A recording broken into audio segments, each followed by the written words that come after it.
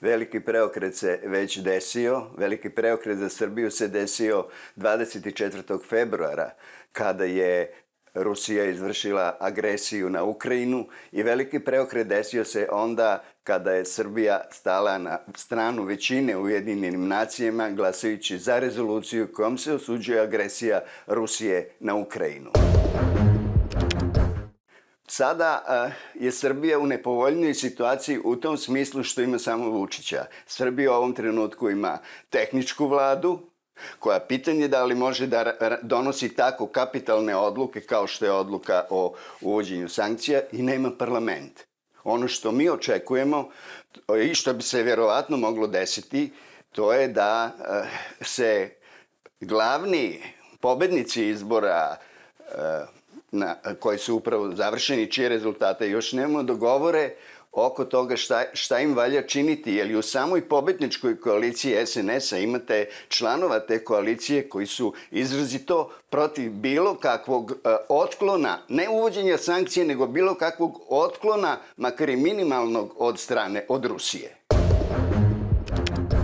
Evropska unija je u ovom trenutku jasnija od toga šta zahteva od kandidata i budućih članica Evropske unije nego šta zahteva od svojih pojedinih članova kad je reč o konsolidaciji e, spoljne politike, posebno sa njenog bezbednostnog aspekta. Tu pre svega mislim jel da na ovu po meni skandaloznu izjavu predsjednika Hrvatske da će staviti veto na ulazak Finske u članstvo NATO-a, što je potpuno iracionalna izjava. S druge strane, isto tako na najave gospodina Orbana, premijera Mađarske, da će nastojati da zaustavio šesti paket sankcija.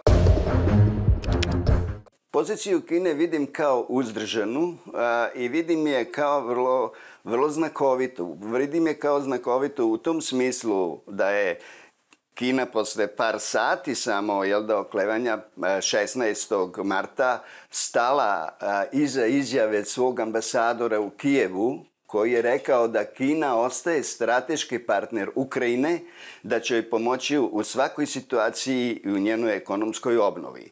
Takođe je vidim i u tome da e, glavni kineski koncern e, e, za energiju, uprkos vrlo dobrim ponudama od strane Moskve, nije pristao da potpiše nov dugoročni ugovor o snabdevanju e, energentima i, iz Rusije i vidim je i u tome da Kina i dalje e, zadržava apsolutnu neutralnost, to jest da ne podriva sankcije Zapada koje su uvedene prema Rusiji.